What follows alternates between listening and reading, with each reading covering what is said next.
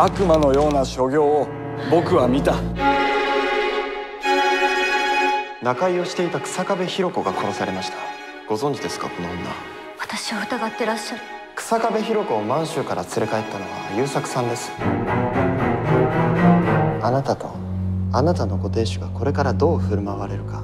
我々はそれを注視しています。あなたがスパイなら私はスパイの妻になりますおじさん以外の誰にも渡してはいけない。この証拠を国際政治の場で発表する。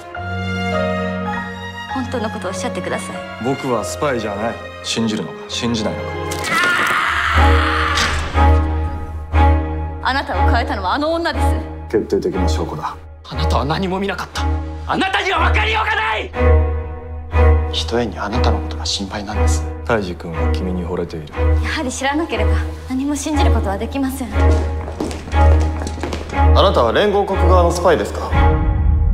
誰が通報した？あなたもよくご存知の方だ。アメリカへ渡りましょう。私たち二人で。捕まることも死ぬことも怖くはありません。